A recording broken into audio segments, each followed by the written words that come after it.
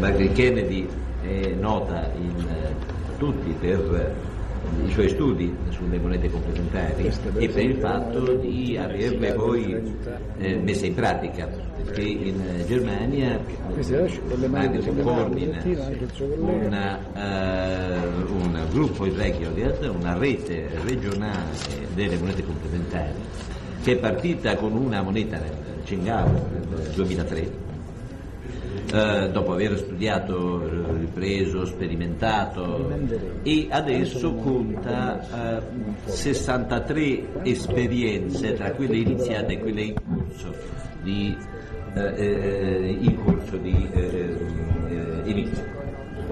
Vi ringrazio molto per avermi invitato a questo evento così emozionante. Quello che cercherò di spiegare è perché abbiamo bisogno di cambiare il sistema monetario. Se volete cambiare qualcosa di così importante per la gente, per la sua vita, come il sistema monetario, dovete avere veramente delle ottime ragioni per farlo.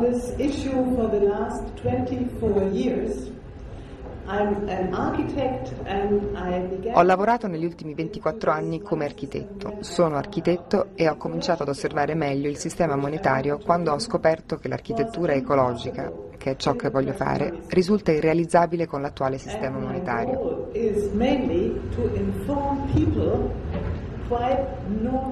Il mio scopo è sensibilizzare le persone, la gente normale che svolge la vita di tutti i giorni, sull'impossibilità che ha l'attuale sistema monetario mondiale di andare avanti in questo modo ancora per molto e su come creare qualcosa di diverso. Penso sia utile per voi guardare un breve filmato di 5 minuti sulle origini delle monete locali in Germania. Regionalgeld als Ergänzung zum Euro. In Deutschland bezahlen die Bürger zunehmend mit Lokalwährung. Ciò che vedrete è stato presentato da una televisione tedesca. Einzelhandel und sichern die Arbeitsplätze in ihrem Umfeld. Angesichts der Flaute auf dem Arbeitsmarkt eine gute Idee und ein Modell, das Schule macht. La prima parte spiega come nasce l'idea delle monete locali attraverso un progetto scolastico. Nella seconda parte c'è l'intervento di un professore di economia che sostiene la nascita delle monete locali. L'argomento fondamentale è che ormai non abbiamo quasi più nessun'altra possibilità se non quella di sostenere la loro diffusione. Tief im Süden der Republik ist zumindest die Urlaubswelt noch in Ordnung. Hier am Chiemsee herrscht beschauliche Ruhe. Ci sono circa 400 negozi che aderiscono alla rete delle monete locali e la signora sta dicendo che nel suo non ha mai avuto finora un'esperienza negativa con questo genere di moneta. La signora sta pagando con questa moneta, il Chiemgauer. In einer Schule im 10.000 Seelenörtchen Prien findet sich die Quelle der neuen Scheine. In Heimarbeit wird hier seit 2003 der sogenannte Chiemgauer gedruckt geboren aus einem Oberstufenklassenschulprojekt zum besseren Verständnis von Wirtschaftskreisläufen. Der Chiemgauer der ist erstmal eine regionale Währung und ähm, versucht allen, ja, für alle Beteiligten in der Region einen, einen Vorteil zu schaffen. Inzwischen haben sich dem Projekt schon 180 Geschäfte im gesamten Chiemgau angeschlossen. Ich habe keine schlechten Erfahrungen gemacht, weil ich habe dadurch etliche mehr, mehr Kunden gewonnen. Und das Experiment der Regionalwährung funktioniert. Vom Schuhgeschäft über Hotels bis zum Lebensmittelladen sind die Kaufleute dabei, einen regionalen Waren- und Geldkreislauf aufzubauen. Verbucht werden die Chiemgauer Umsätze grundsätzlich in Euro, schon wegen des Finanzamts. Ich habe einige Zulieferer, die ich mit dem Chiemgauer auch bezahlen kann, oder zumindest einen Teil der Rechnung kann ich mit Chiemgauern bezahlen. Und ich nehme den auch mal privat mache eine Privatentnahme aus meinem Geschäft und gehe damit dann wieder in, in andere Geschäfte zum Einkaufen. Attualmente il valore totale in circolazione del Chingauer è di 200.000 euro. Questo cartello indica la struttura della circolazione del Chingauer sul territorio. Die Kunden tauschen als Mitglieder im Bankverein in beliebiger Menge 1 zu 1 gegen Euro. Eingekauft wird bei teilnehmenden Geschäften, deren Inhaber wiederum selbst mit Chiemgauern einkaufen. Wichtig ist, dass das Geld in Umlauf bleibt. È la prima volta che questo tipo di formaggi o altri prodotti tipici hanno la possibilità di entrare nel circolo commerciale locale, grazie proprio al Chiemgauer. Seit Einführung des Chiemgauers stieg der Umsatz. Zwei neue Arbeitsplätze konnten geschaffen werden. Also Regionalgeld statt des Euro? Questo signore invece parla della possibilità di ampliare gli scambi regionali sempre creando circuiti chiusi in cui il Chiemgauer può circolare. Attualmente l'uso del Chiemgauer sta crescendo molto bene, sempre più persone fanno uso di questa moneta locale. Possiamo senz'altro dire che l'esperimento funziona. Das anfangs als Schülerübung belächelte Projekt mausert sich. All'inizio può sembrare strano, ma è una questione di abitudine. In fondo il Chiemgauer, la moneta locale, è solo uno strumento in più per aiutarci a scambiare beni a livello di piccoli distributori. Il vero problema sono le grandi catene, che non sono affatto interessate allo sviluppo delle realtà regionali. Oggi le regioni sono completamente subordinate al mercato globale, quindi per aiutare la realtà regionale bisogna regionalizzare le filiere produttive. Letztlich ist vom Prinzip her das Regiogeld nicht viel anders als die Kundenkarte, die anfangs vielleicht auch belächelt wurde und jetzt durch Payback oder Miles and More Deutschland europaweite Verbreitung hat. Bis dahin ist noch ein weiter Weg. Discounter und Filialbetriebe fühlen sich nicht regional verbunden. Sie wollen Gewinne maximieren, möglichst ohne Konkurrenz und ohne Chiemgauer. Grüß Gott. ARD Fernsehen, kann ich bei Ihnen mit Chiemgauer bezahlen? haben wir leider keine Dinge zum Abrechnen, weil das Filialbetriebe sind. Ah, das sind Filialbetriebe? Ja, das kennt und da nehmen wir das leider nicht Okay, tut mir leid. Danke. Es ist kein, fast kein Platz mehr für lokale Wirtschaftskreisläufe. Und damit machen sich Volkswirtschaften und auch Regionalwirtschaften immer mehr abhängig vom Weltmarktgeschehen. Und das ist sozusagen die Gegenbewegung. Wir wollen einen geschlossenen Wirtschaftskreislauf in einer Region realisieren, der uns mit den sogenannten primären Gütern versorgt.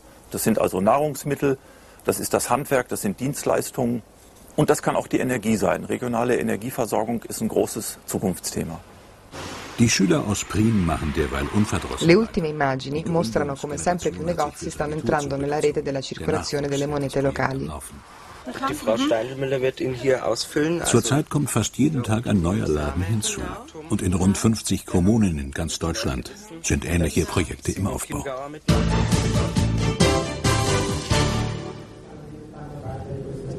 Rücktausch 1 zu 1. Am nächsten Dienstag kommen die. So now I have a couple of slides uh, on a CD. Um, need more technology. Ora ho alcune diapositive da mostrarvi. Mentre aspettiamo che i tecnici preparino un CD, lasciatemi dire perché abbiamo bisogno di cambiare il sistema monetario.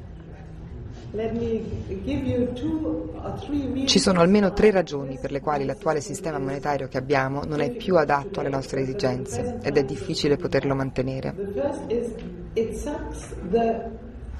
Um. La prima ragione è da ricercarsi nel fatto che cercando solo l'investimento più produttivo in qualsiasi parte del mondo, il denaro è come un aspirapolvere che porta soldi laddove già ce ne sono tanti.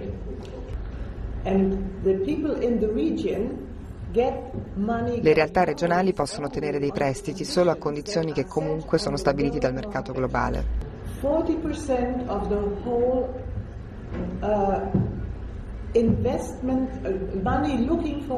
Negli ultimi quattro anni il 40% di tutti i fondi coinvolti negli investimenti mondiali sono stati assorbiti dalla Cina.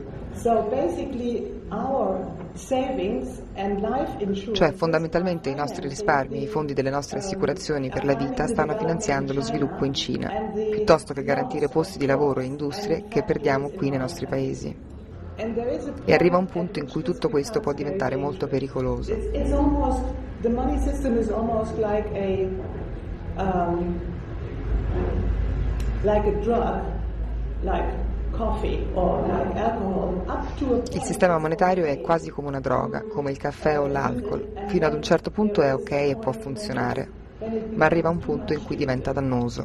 La seconda ragione è rappresentata dagli effetti della ridistribuzione del denaro, per cui l'80% della popolazione contribuisce alla ricchezza di un solo 10%. Vi mostrerò poi come questo accade. La terza ed ultima ragione è il cosiddetto effetto cancro, che ha un andamento esponenziale di crescita, che ha nella teoria matematica la sua possibilità di esistere, ma in pratica è impossibile. Abbiamo quindi un bisogno urgente di analizzare tutto questo. Qui non stiamo parlando di qualcosa di esoterico o di morale, in larga parte stiamo parlando di semplice matematica. In questo modo ho tentato di essere il più semplice possibile, racchiudendo in queste tre ragioni una infinità di aspetti diversi, per spiegare come dovrà avvenire il cambiamento del sistema. A questi problemi sono legati tre risultati e tre soluzioni. E ci sono molte altre soluzioni, molti altri risultati e molti altri problemi affrontandoli, ma questi sono i primi tre più importanti.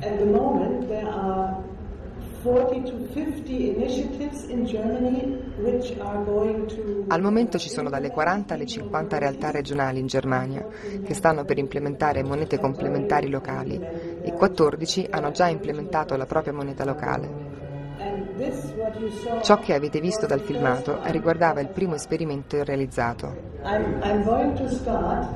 Voglio iniziare con tre tipi di concezioni errate che quasi tutti nel mondo hanno riguardo il denaro.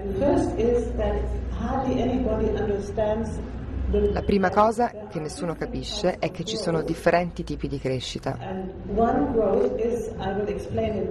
tipo di crescita, adesso è difficile spiegare senza l'ausilio dell'immagine, diciamo che è la crescita naturale. Per esempio la crescita del nostro corpo o la crescita di qualsiasi organismo che esiste in natura.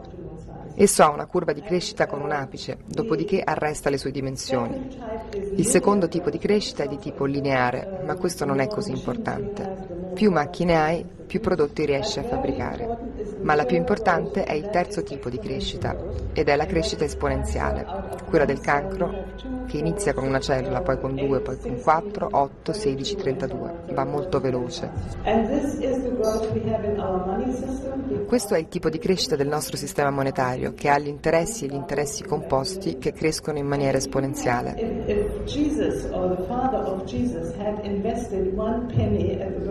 Se Gesù o il padre di Gesù avesse investito un centesimo al tempo della nascita di Gesù Cristo, al giorno d'oggi, se Gesù fosse tornato nel 2000 con il 5% di quell'interesse medio che è stato pagato durante la storia e se quella banca ancora esistesse, Gesù oggi avrebbe 500 miliardi di palle d'oro ognuna del peso della terra, al prezzo dell'oro dell'anno 2000. In altre parole, è una cosa impossibile. Gli interessi e gli interessi composti, con la loro crescita esponenziale, possono solo funzionare nell'immediato o nel breve termine, non nel lungo termine. Il punto è che se voi investite come uomini d'affari in qualche cosa, voi dovete avere indietro come effetto del vostro investimento più di quello che la banca garantirebbe come interesse se voi aveste lasciato quel denaro nella banca. Cioè, se avete dei soldi, voi confrontate ciò che ottenete dalla banca come interesse con ciò che otterreste dall'investimento produttivo. Allora, il punto è che il tasso di interesse sul denaro stabilisce il livello minimo di produttività economica di qualsiasi investimento su prodotti voi facciate. Perciò la crescita esponenziale del sistema degli interessi stabilisce lo stadio della nostra crescita economica, cioè è il tasso di interesse che decide se produrre qualcosa è economico o no. E questo è patologico ed è esattamente la ragione per cui tutti i politici parlano continuamente di crescita economica. Quindi è veramente molto importante che noi capiamo bene che questo è impossibile.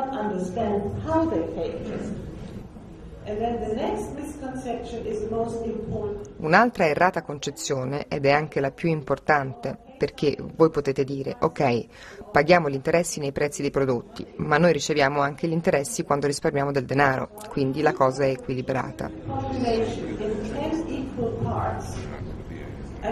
Se guardate la popolazione tedesca suddividendola in 10 parti uguali, e cercate quanto e chi guadagna gli interessi e quanto e chi paga gli interessi, noterete che l'80% della popolazione paga il doppio di interesse rispetto a quello che guadagna. Il 10% paga e riceve più o meno lo stesso. Il restante 10% gli entrano tutti gli interessi che la maggioranza dell'80% perde. Perciò in Germania ogni giorno un miliardo di euro è ridistribuito dall'80% della popolazione che paga per avere il suo denaro a quel 10% che prende tutto.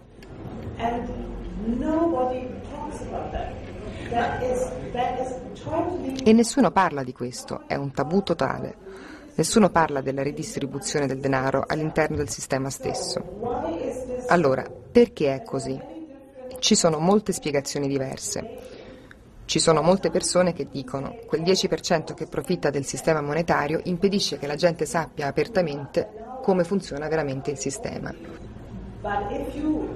have talked to many people in the last 10% bracket, if they had a ho parlato con molte persone di quella piccola parte del 10% e se loro avessero la scelta tra continuare con questo sistema o cambiarlo, tutti hanno sempre risposto di preferire l'attuale sistema. Ma in realtà il fatto è che sono loro stessi a non capire come funziona il sistema.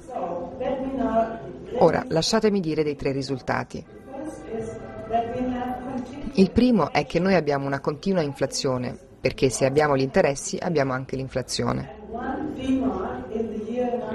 E quel che valeva nel 1950 il marco, nel 2000 vale 20 pfennigs. Perciò il marco tedesco ha perso in 50 anni oltre l'80% del suo valore. E pensiamo che questo è accaduto a una delle monete più stabili del mondo.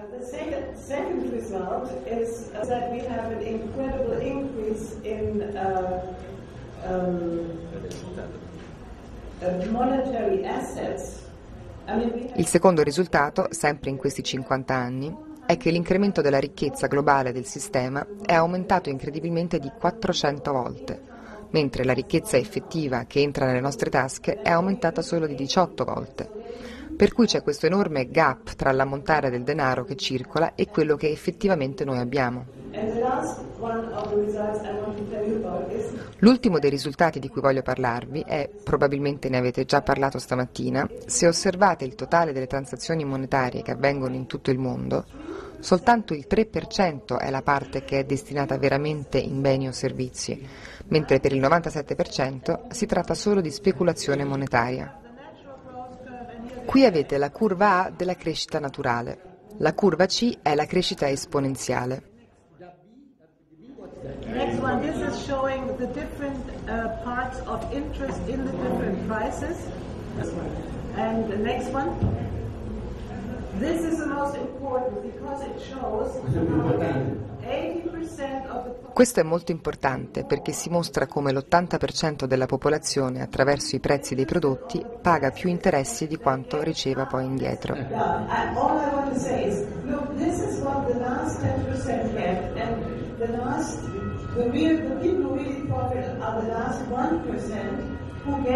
La colonna a destra esprime la realtà di un mondo in cui praticamente 350 persone detengono più della metà della ricchezza totale del pianeta.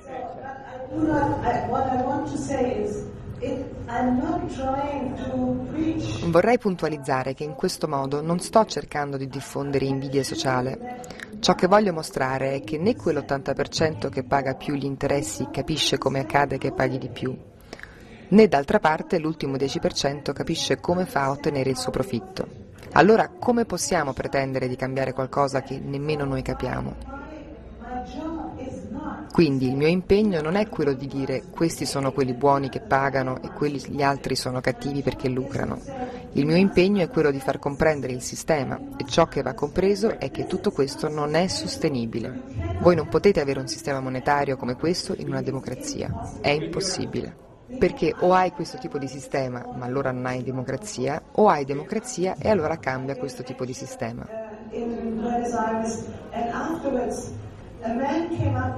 Quando ero in Argentina diedi una lezione a Buenos Aires e dopo un uomo si avvicinò a me.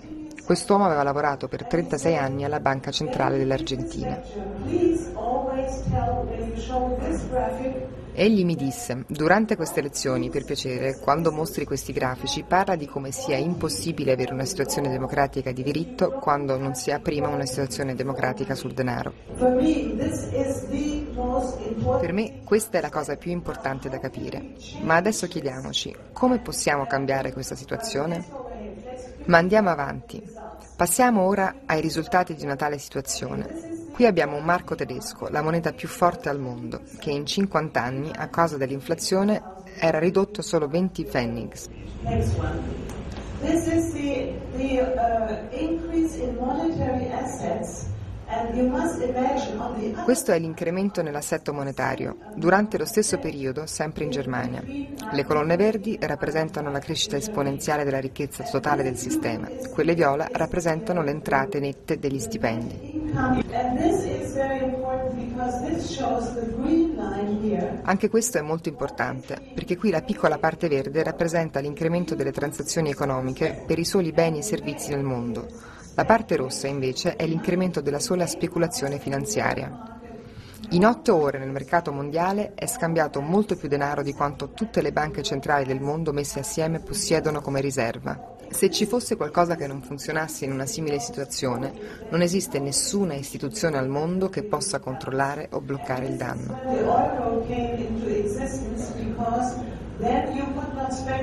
L'arresto della crescita, qui in questo angolo, è dovuto alla nascita dell'euro, i cui effetti nell'immediato bloccarono per un po' la speculazione finanziaria, poi anche l'euro prese parte al gioco. Questo grafico è stato pubblicato dalla Banca Centrale d'Indonesia.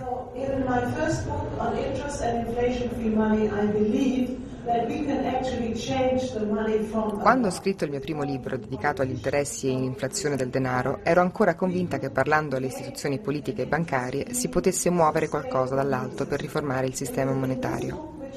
Nel libro invece che ho pubblicato l'anno scorso sostengo che l'unico modo per riformare il sistema deve partire dal basso. Ma perché non accade? Perché i politici fanno soltanto quello che la gente capisce.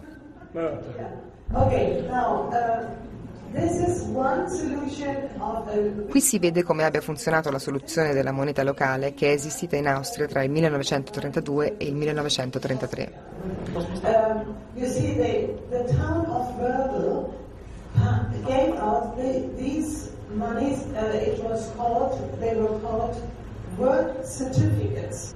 Potete vedere che la città di Worgl chiamò questa moneta certificati di lavoro. Invece degli interessi, per garantirne la circolazione, applicò una piccola tassa sulla moneta, che permise di abbassare l'inflazione.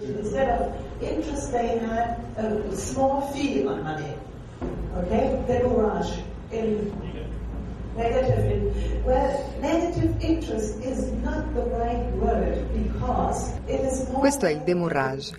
Interesse negativo non è l'esatta definizione perché si tratta più di una commissione per renderne possibile l'uso.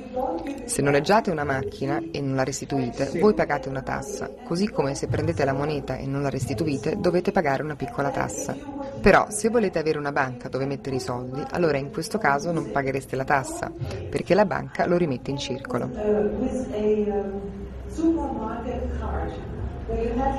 Io paragono la moneta locale al gettone del supermercato, che ti danno per un euro quando prendi il carrello, e poi te lo restituiscono quando lo rimetti a posto. Voi non potete spendere quel gettone in giro. I soldi della piccola tassa che pagate sulla moneta comunque poi vi sarà restituita in termini di servizi ai cittadini che la città può offrire con quei soldi.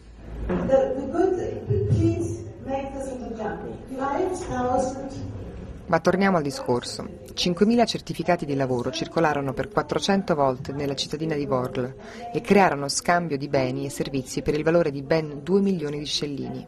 Uh,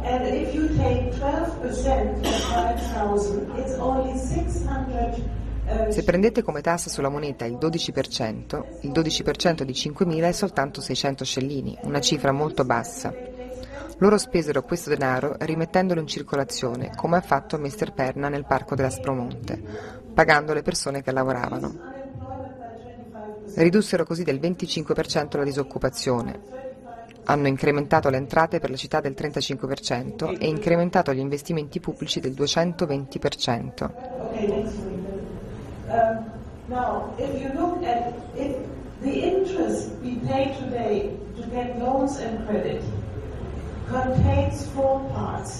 Gli interessi che oggi in questo sistema paghiamo quando prendiamo un prestito è suddiviso in queste quattro voci. L'1,7% è la commissione per la banca, lo 0,8% è il premio dell'assicurazione contro rischi e il 4% è il premio di liquidità per chi mette da parte il denaro. Poi c'è l'aggiustamento dell'inflazione. Il totale è l'8%.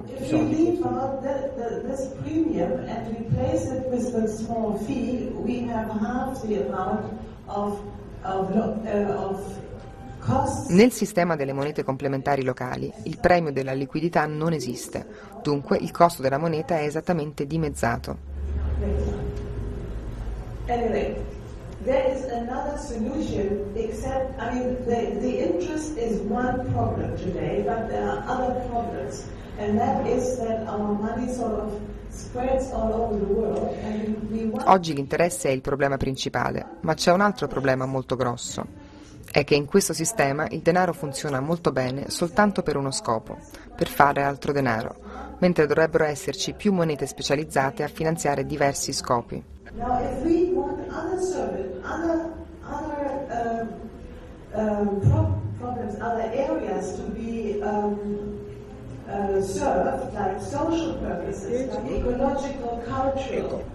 Se vogliamo cioè salvaguardare una certa area per scopi sociali, ecologici o culturali, abbiamo bisogno di un'altra moneta specificamente studiata per ottimizzarla per gli scopi che vogliamo ottenere. Chiamiamo questo genere di moneta complementare, perché essa non vuole sostituirsi alla moneta ufficiale corrente. Voglio mostrarvi tre esempi di moneta complementare. Uno è il Furai Kipu in Giappone, ottimizzato per le persone anziane. Un altro è il VIR, Wirtschaftsring, in Svizzera, che serve per gli affari di piccola e media entità. Poi c'è la Cyber Educational, una moneta brasiliana per l'educazione scolastica. Queste sono monete che possiamo chiamare settoriali perché nascono per servire scopi specifici. and it has since 1995 in Japan Il Furai Kipu è una sorta di ticket di cura nato nel 1995 e sostiene le persone anziane con l'aiuto di quelle più giovani che ottengono dei crediti orari che possono spendere altrove in qualsiasi altra parte del paese quando vogliono e non sono personali ma cedibili ad altri.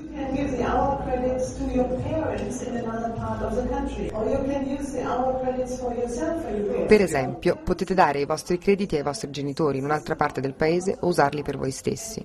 Insomma, è una specie di sistema di credito orario che non crea inflazione perché un'ora è un'ora e rimane sempre quella. Veniamo al sistema del VIR in Svizzera.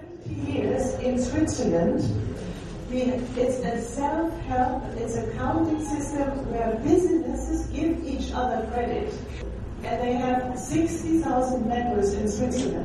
Per 70 anni, dal 1934, è stato un sistema di scambio di crediti tra piccole e medie imprese, in cui i membri sono 60.000 e che hanno consentito nel 2002 uno scambio di circa 1 miliardo e 700 milioni di VIR. Ma la cosa principale è che questo sistema è anticiclico, cioè ha aiutato le stesse banche svizzere a mantenere stabile il ciclo economico. Cosa vuol dire infatti anticiclico? Quando l'economia va bene, le banche possono prestare denaro senza problemi. Quando l'economia va male, stanno molto più attenti. Perciò le banche sostengono i cicli alti-bassi dell'economia, sono procicliche, mentre tutte le monete complementari sono anticicliche, cioè sono molto più stabili. Questo perché se voi potete vendere i vostri prodotti in franchi svizzeri, perché dovreste usare il VIR? Ma se non potete, allora avete delle buone ragioni per usarlo.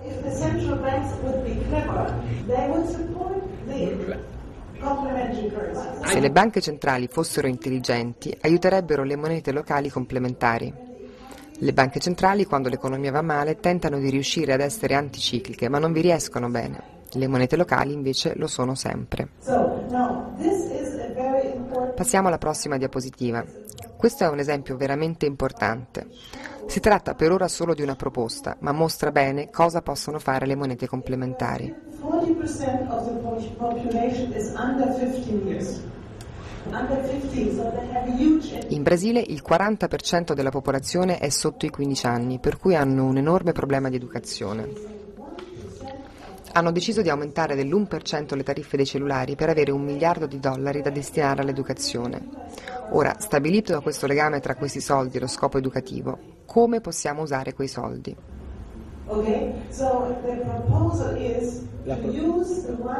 La proposta è quella di usare il denaro come fondo per la creazione di una moneta per l'educazione scolastica.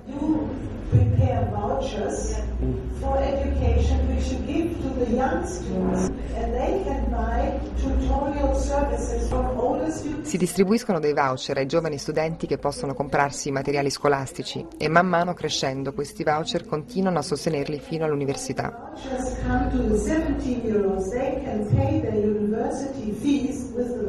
Quando hanno concluso gli studi possono redimere questi voucher in dollari americani. Questi voucher perdono il 20% all'anno.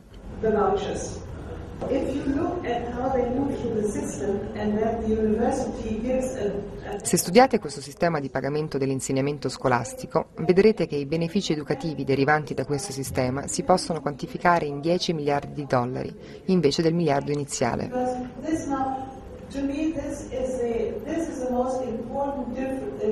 La prossima diapositiva è la più importante perché mostra la differenza tra le monete complementari e quelle tradizionali.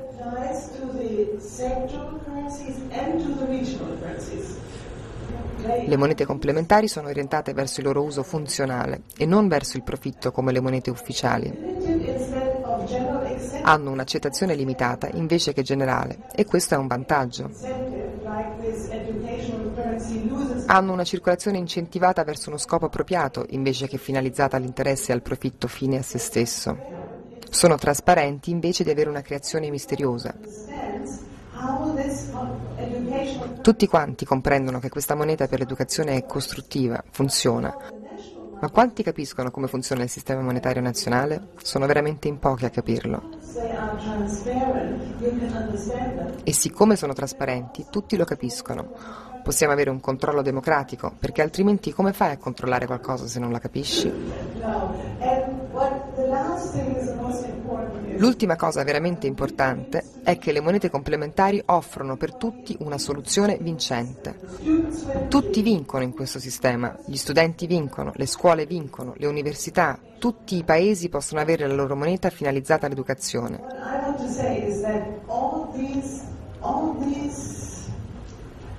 Tutti questi vantaggi sono applicabili sia a tutte le monete settoriali che a quelle locali. Quindi, allora la domanda è, perché abbiamo bisogno delle monete locali?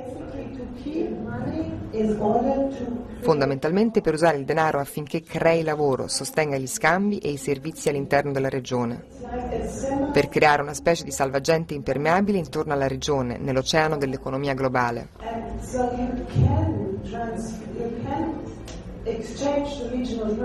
Puoi anche scambiare la moneta locale con l'euro, ma questo ti costa.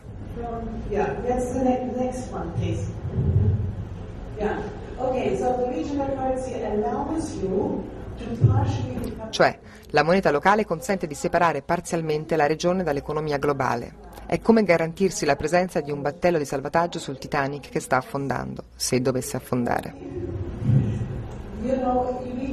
Se ci dovesse essere un crollo significativo dell'economia globale, ci sarebbero comunque delle realtà regionali che potrebbero cautelarsi contro queste eventualità.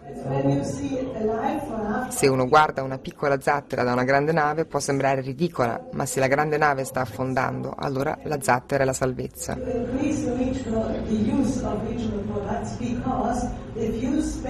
Un altro vantaggio è l'incremento e la valorizzazione della produzione regionale, perché i prodotti verrebbero acquistati con la moneta locale che continua a circolare solo nella regione e quindi le risorse locali non vengono disperse all'esterno. Il valore aggiunto e il surplus rimane nella regione. La comunità riesce così ad avere i servizi essenziali di pubblica utilità. Quel che ci piace fare o quel che ci piace avere di basilare lo potremo pagare con la moneta locale, cioè prima di tutto i bisogni primari, il cibo, l'acqua e l'energia. Inoltre ci sarebbero dei legami più stretti tra produttore e consumatore. Si rafforzerebbe sia l'identità regionale che le sue diversità e viene ridotta la richiesta di trasporto e di energia.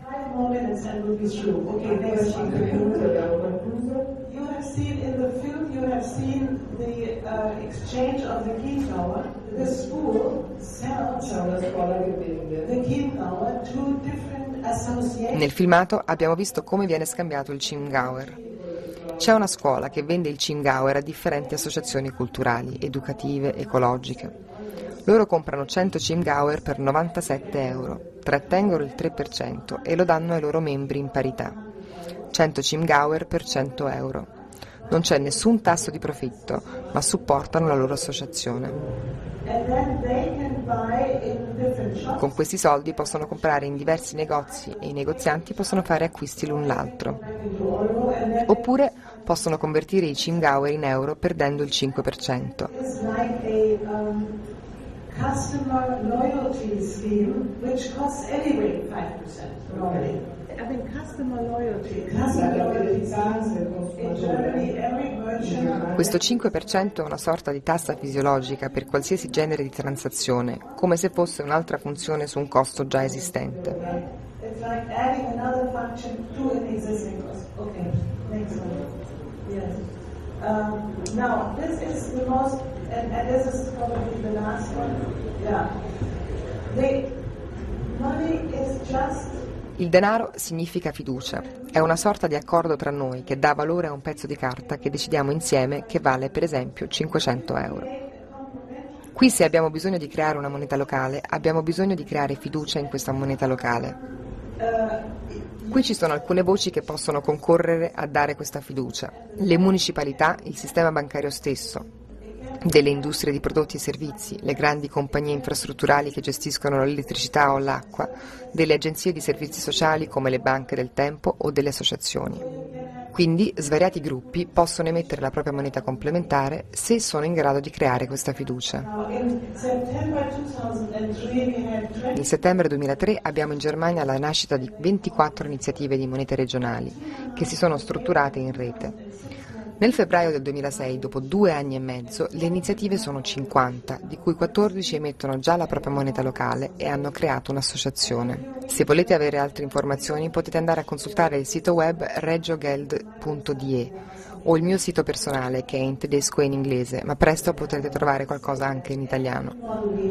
Voglio infine specificare che ogni modello di moneta locale è diverso e questo è fatto apposta per adattare esattamente la moneta ai nostri scopi e trovare quella che funziona meglio.